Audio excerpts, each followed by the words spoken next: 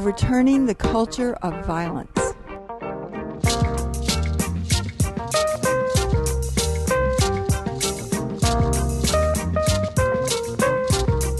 This presentation is put together by the African People's Solidarity Committee, the organization of white people formed by the African People's Socialist Party, which leads the Uhuru movement for the liberation of Africa and African people everywhere. All the information and analysis in this presentation come from the theory of Chairman Omali Yeshitela, who leads the African People's Socialist Party. We live in a world that is constructed of the theft of the resources, both material and human, of African and other people as a consequence of its existence. Stealing black labor, black bodies, black the rape of Asia, Latin America, etc. It's a rotten, foul social system. That's the world we live in. And if you raise the question of reparations, it makes it necessary for African people to come to terms with this. So much is done against us all the time. Demoralizing black people. You took my money, you took my resources, you stole every damn thing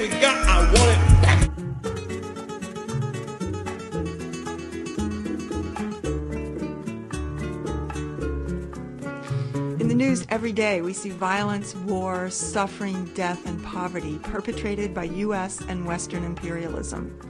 All around the world, people are struggling and resisting this violence, struggling to regain their land, resources, and self determination. These are struggles for national liberation. To understand the origins of the violence, war, and suffering in the world today, we must understand history. Oh,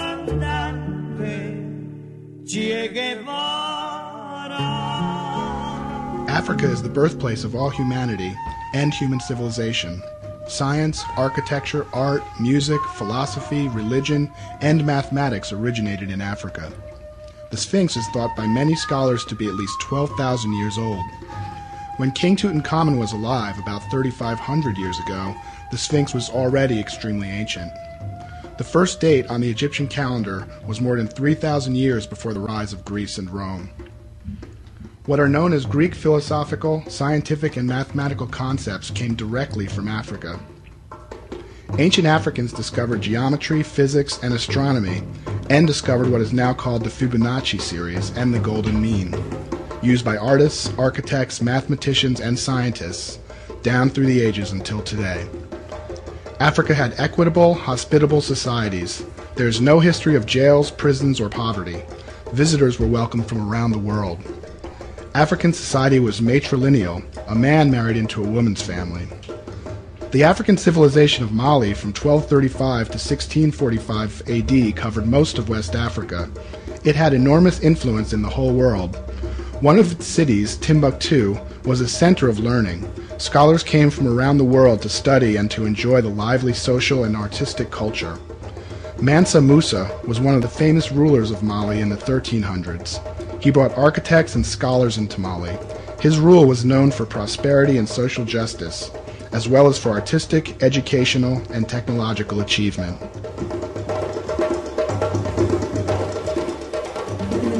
And ancient times, Europe was a cold, backwards, barren land of violent, warring tribes. Medieval Europe was governed by the system of feudalism. The majority of the population lived as serfs, impoverished farm workers tied to the land owned by the lords and the aristocracy. Most of Europe was known for its filth, violence, and stench. The majority of people never bathed, had rotting teeth, open sores, and pockmarks. Alcoholism was rampant. Women and children were powerless and oppressed. While the Middle Ages in Europe are known as the Dark Ages, in the rest of the world, great civilizations flourished. Mali and Songhai in Africa, the Mongol Empire, which united China with most of Asia, the Islamic civilization in the Middle East, and the Mayan and Aztec civilization in the Americas. The most progressive and developed part of Europe in the Middle Ages was Andalusia, Spain, which was ruled by Africans and Arabs. At the end of the 11th century, Europeans launched the first crusade against North Africa in the hope of conquering its immense riches and power. For 200 years, the brutal and violent crusades brought stolen resources into Europe, sparking what is known as the Renaissance. The Crusades, a so-called holy war against African and Arab people, defined the consciousness of Europe as white and Christian. In the 1340s, the plague wiped out nearly half the population of Europe, destroying its already weak economy. Europe's population continued to decline for a hundred years. In 1415, Henry the Navigator began sending out fleets to West Africa from Portugal to gain control of the wealthy West African trade in gold, silver, and other resources. The trans Saharan trade routes had flourished for a millennia, connecting Africa to the Middle East and Asia. The Portuguese began the kidnapping of African people, turning a whole continent of people into a commodity. By the early 1500s, Portugal had extracted 700 tons of African gold, shipping it to Portugal, and had kidnapped more than 81,000 African people into slavery. Christopher Columbus was a slave trader who sailed to the Americas financed by Queen Isabella and the Spanish crown in 1492. Isabella had to hawk her jewels to raise the money. While Columbus was the colonial viceroy in the Caribbean, he oversaw the slaughter of 8 million indigenous people. When Columbus landed in the Americas, he was welcomed by the indigenous people. But he and his men soon began systematic genocide of the people, raping the women and terrorizing the population with dogs trained to rip them to death. Also in 1492, Spain initiated the brutal Inquisition, pushing Africans, Arabs, and Jews out of Spain in another assertion that Europe was a white and Christian nation. In 1518, Bartolome de las Casas, a Catholic priest in South America, called on the Spanish crown to use Africans as slaves in the Caribbean and South American colonies rather than the indigenous people who were being subjected to systematic genocide. Spain then dominated the international trade in African people. De las Casas advised that incentives be given to European settlers to stimulate the economy in the so-called West Indies. Any settler who built a sugar mill was allowed to import 20 Africans to be used as enslaved laborers to work in the mills. In the 1560s, the English began their trade in African people. Sir John Hawkins was the famous British pirate in this period who challenged Spain's monopoly of the human trade. On the right is John Hawkins' coat of arms.